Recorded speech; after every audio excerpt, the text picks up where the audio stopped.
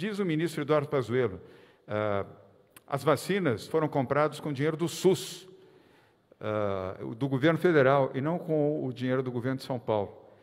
Ministro, ministro Eduardo Pazuello, é inacreditável como o ministro de Estado da Saúde, sem o menor zelo com a saúde, sem ser médico, sem ter conhecimento nenhum da saúde, sem planejamento, um desastre completo na saúde, ainda mente ao dizer isso. A vacina do Butantan só está em São Paulo e no Brasil porque foi investimento do governo do Estado de São Paulo, ministro. Não há um centavo até agora, até agora, do governo federal para a vacina, nem para o estudo, nem para a compra, nem para a pesquisa, nada. Chega de mentira, ministro. Trabalhe pela saúde do seu povo, seja honesto, seja decente, aprenda aquilo que na escola militar o senhor aprendeu.